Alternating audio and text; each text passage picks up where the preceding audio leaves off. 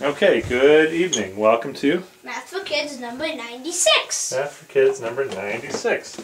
Today we're going to look at a special kind of curve, or a special kind of figure called the Koch curve, Another fractal. or sometimes it's called the Koch snowflake. Yeah, and this is an example of something that's called a fractal.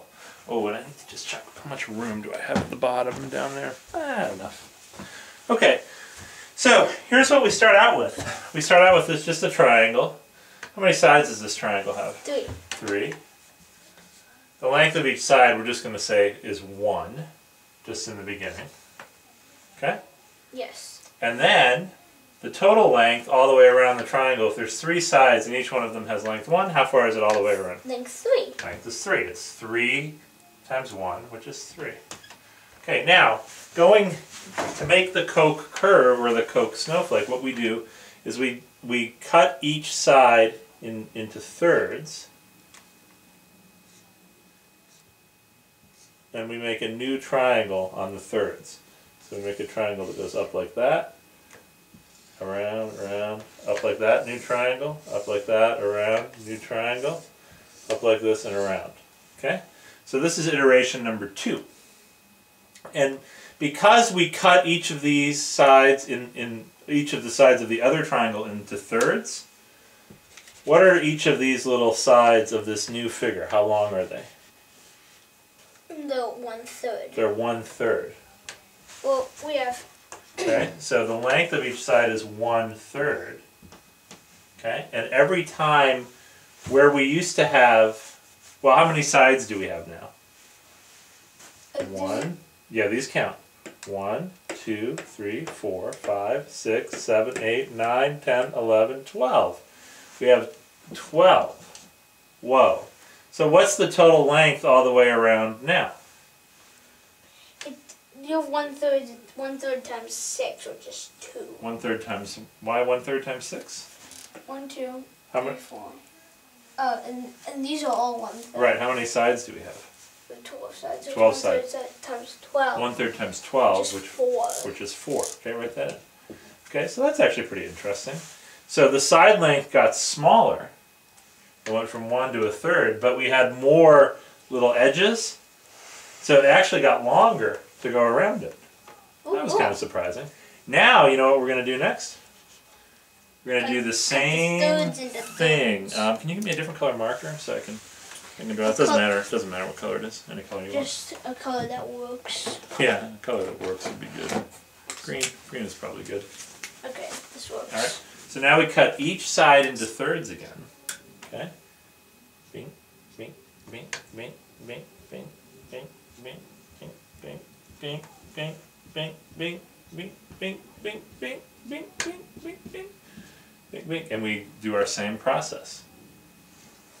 Make a triangle. Boom, boom, make a triangle. Boom, boom, make a triangle. Boom, boom, make a triangle. Boom, boom, make a triangle. Boom, boom, make a triangle. Boom, boom, make a triangle. Boom, boom, make a triangle. Boom, make a triangle. Boom, boom, make a triangle. Boom, boom, make a triangle. Boom, boom, make a triangle. Go all the way back to the beginning. Okay, so now we've got a new curve. Hopefully this shows up okay. All these side lengths are now supposed to be the same. Did it show up all right? Yep. Yep. Okay, awesome. So, now, because we cut all these sides into thirds now, and they were one third long to begin with, Now the one ninth. now they're one ninth long. So why don't you write that down, but don't don't block the don't block the view from the camera. Okay, now they're one ninth. Now we have to figure out how many sides there are. We Now- just count them all. Yeah, the way what we're gonna do to count them is we used to have twelve sides. But for Like, each twelve, For we- each one of those twelve, one side became one, two, three, four. Do you see do you see that? yes. Okay, it used to look like each side used to look like this, and then we cut it into thirds and made it look like this.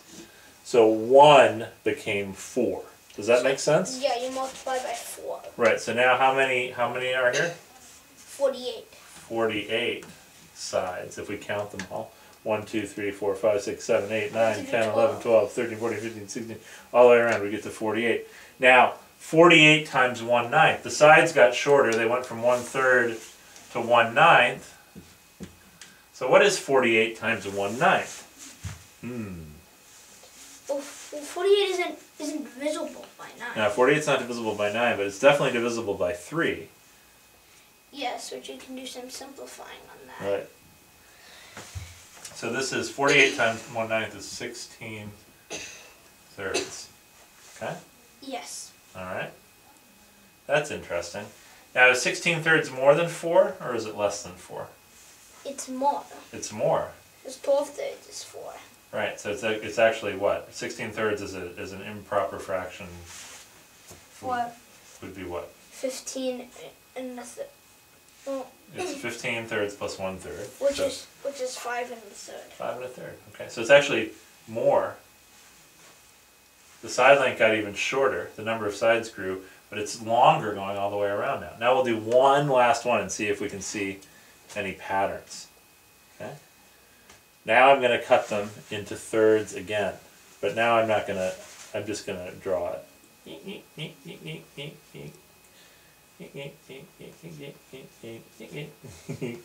Starts to be kind of hard to draw, right? Yeah. This can be infinitely long.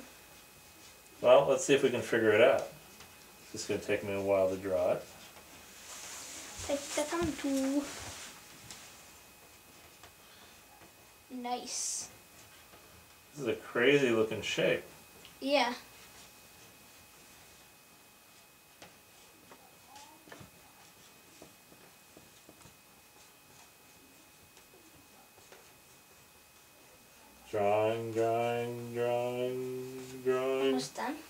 Almost done. I'm almost all the way around. Hopefully I didn't miss any.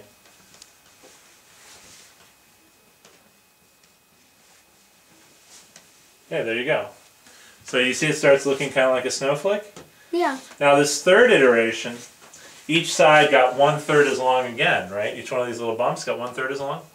So now the sides are 127th. They're super short. They started out being one, then they went to one third, then to one ninth, then to 127th. Do you see the pattern what's happening to the side line? Yes. What's happening every time? They're you're dividing by 3 every You're, time. you're dividing by three. Now we got to figure out what happens to the number of sides every time. Well, remember, You multiply by 4. you multiply by four every time because each time you have a side, Yeah. what you do to go to the next step is you chop it into thirds and make a little bump. So one turns into one, two, three, four. Okay? So we got to figure out what is 48 times 4. Well, that's 160 plus 32. It's 192. There's 109 after just just three iterations through this from the start and then three times later we got to 192. Two. Sorry, I wrote 194. 192. Now we have to figure out what 192 times 127th is. Well, that's going to be the same as. Do you have another marker? This one's not so great. This one really works. Okay, so 192 over 27 is going to be the same as 64 divided by 9. Okay, so that's going to be our answer here. 64 divided by 9. Now, 64 divided by 9, this is 3, 4, this is a little bit more than 5. This This is what, a little bit more than 7. a little bit more than seven. nine. So wait a minute. This is getting crazy. It's taking longer and longer to get around. So if you were like a little ant trying to walk around this, every time we chop it up, it gets longer to walk around. And in fact, that pattern is going to continue. Every time we divide it up and we go a new step, it gets longer and longer and longer. And in fact, if we keep doing this forever, it's going to be infinitely long to go around. Can you believe that? Even though you can see the whole perimeter. Right, even though you can see the whole perimeter, it's going to be infinitely long. Isn't that crazy? But you can see by how long it takes me to draw it every time. So you have to go on YouTube or something like that and see somebody doing it a little bit more steps than this. But this is the amazing thing about this Koch curve, is that it gets infinitely long going all the way around it.